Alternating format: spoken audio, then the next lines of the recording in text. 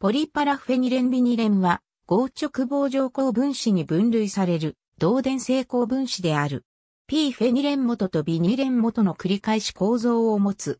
PPV は、この種の鉱分子のうちで唯一、高秩序結晶性白膜が製造できる。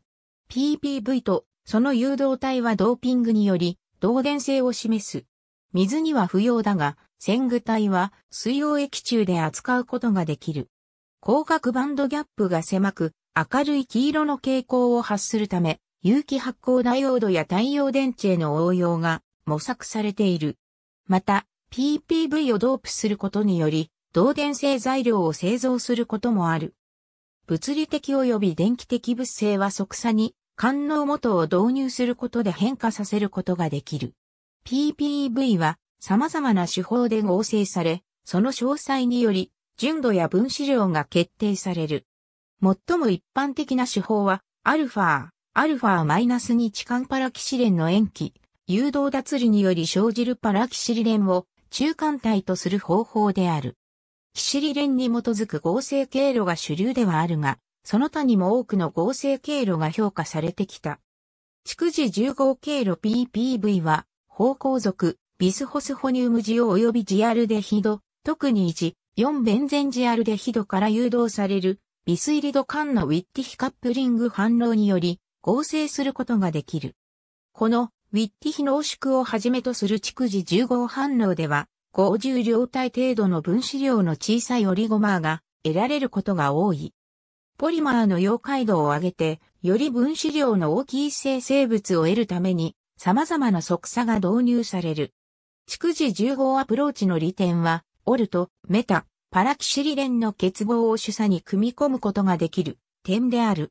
特定の立体規則性を持つコポリマーもこの方法では容易に合成できる。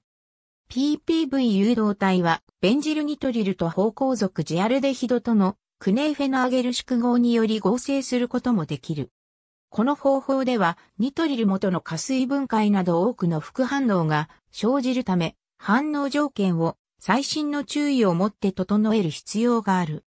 ヘックカップリング経路可用化のための即差があればエチレンと様々な方向属ジブロミドをヘック反応によりカップリングさせることで、適当な分子量のポリマーを得ることができる。しかし、この方法では、基礎出発物質の量を正確に添加しなければ、過剰量のポリエチレンが生じる恐れがある。快感重合経路、ビシクロオクタジエン化合物を快感メタセシス重合させることにより、有機溶媒に可用で分子量の大きい線具体ポリマーが得られる。このポリマーを白膜に成形した後に熱処理すると PPV に変換することができる。アミン触媒存在下では変換温度を下げることができる。シリルはじめ置換パラシクロファン誘導体を用いる別の論布経路も存在する。PPV への変換はシリルオキシ元の脱離後に熱処理するか、線具体ポリマーを酸で処理することにより可能である。この方法の利点は分子量のよく揃ったポリマー及びブロックコポリマーが容易に用意できることである。可用な線具体ポリマーを用いる合成法により得られた配光性の高い PPV 白膜は通常 P21 対称性を持ち、単位法は単射小径で2両体を含み、高指定数は C イコール0.658、A イコール0.790、B イコール0.605ナノメートル、アルファイコール123度である。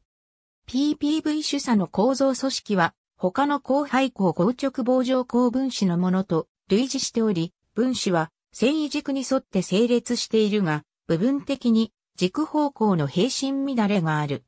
PPV は半磁性材料であり、ドープ前の電気伝導度は 1013S センチメートルのオーダーと非常に低い。要素、塩化鉄、アルカリ金属、酸のいずれかをドープすることにより電気伝導度は向上する。しかし、これらをドープした材料の安定性は比較的低い。一般的にアラインされていない置換器を持たない PPV はドープしても 13S センチメートルから 100S センチメートルの範囲の中程度の電気伝導性しか示さない。比率を10まで引き上げることは可能である。アルコキシチカン PPV は一般的に元の PPV よりも酸化されやすく、成功が生じやすいため電気伝導度がより高い。速差が長くなると分子差間のキャリアホッピングが妨げられ、電気伝導度が下がる。PPV はその安定性、加工性、電気的及び工学的物性から幅広い応用が考えられている。1989年に発見された最初の高分子ベースの発光ダイオードは PPV を発光層に用いていた。高分子は低分子に比べ加工の容易さ、結晶化しにくさ、熱的、機械的安定性の高さから LED 材料としてより適していると考えられている。1989年の最初の飛躍的進歩以来、大量の PPEV 誘導体が構成され、LED 用途に用いられている。有機 LED を用いた固体レーザーは実証されていないものの、ポリ、ニメトキシ -5P フェニレンビニレンは、溶液中で高い蛍光効率を発揮するレーザー色素として実証されている。ポリフェニレンビニレンはエレクトロルミネッセンスを示すため、高分子ベースの有機発光ダイオードに応用できる。PPV は最初のポリマー発光ダイオードの発光層に用いられていた。PPV ベースの素子は黄緑色の光を発し、異なる色が必要な場合は PPV に置換器を導入した誘導体を使うことが多い。